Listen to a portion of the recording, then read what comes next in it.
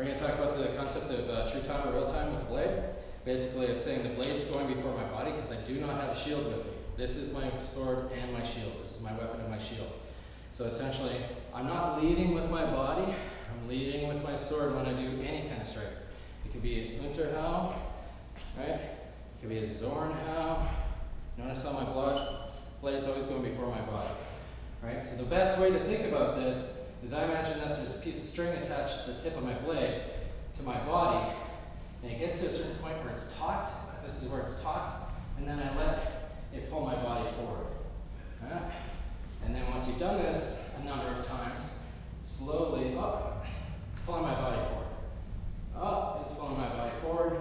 And then that will just become true time. Right after you do it a few thousand times. That's all. Alright, so blade before body.